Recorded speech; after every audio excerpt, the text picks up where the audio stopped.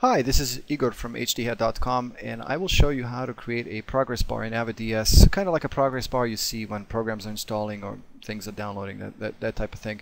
We'll do this using expressions in Avid DS, which automates certain things. A good thing for you would be to watch some of the expressions tutorials that I've done a little while back. But even if you haven't seen those, we're not going to go too technical in this tutorial. Here's what the preset does. It just animates a loading progress bar.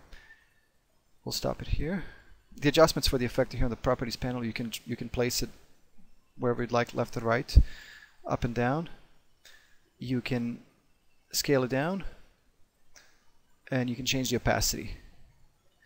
And uh, also using expressions, this effect is designed in such a way that it opens up at this relative size no matter what resolution you're working in. If you're working in standard def or high def or 2K, it will always open up at, uh, at this relative width. A good thing about this preset is that you don't have to keyframe or animate anything. You just drop it onto a clip and you dial in the frame count. So I determine how long my clip is, go to uh, display as frames, it's 150 frames long, and I just dial 150 frames. If I make it shorter than 150 frames, then obviously it will finish before the clip is over. Like that. This is accomplished using a token FC, which stands for frame count in expressions. To illustrate how that works, I will apply a DVE onto a white clip and crop it in so we have a white rectangle on the screen. Click on the DVE tab, right click on X, create expression, and type in FC. Apply. At the beginning of the clip, FC returns value 0 because that's the, that's the zero frame of the clip. As we advance, X is advancing one frame at a time to go up to 90 at the, at the end of this 90 frame long clip. FC is causing this little rectangle to move. If you want to make it move faster, we can multiply that by 4, for example. Apply. So now it's moving four times as fast. And we can also do other fun stuff with FC. For example, let's right click on Y translation, create expression. We'll insert random custom function and filling these values. Uh, seed is not really important, so we'll put 1 in this case. Minimum value for the random number generator will be 0. And then maximum value is going to be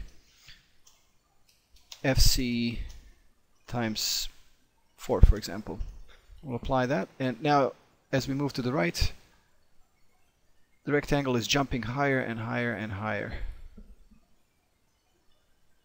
in a random fashion.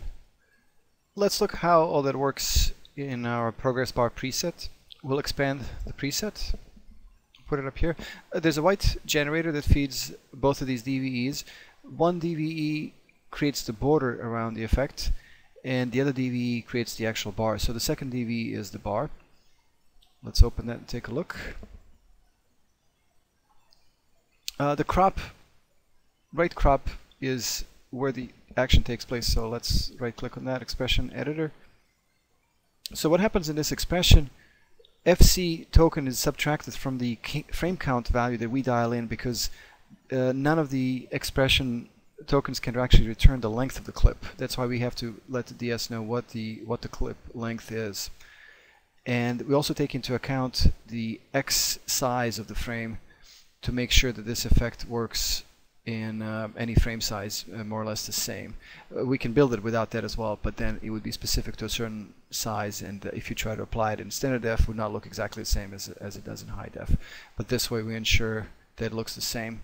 And the math is somewhat similar in uh, in this other DV as well. We're not going to get into into great amount of detail there, but you're welcome to download this effect from hdhat.com and modify it for your needs. Thank you for watching this tutorial. This is Igor Riđanović from hdhat.com.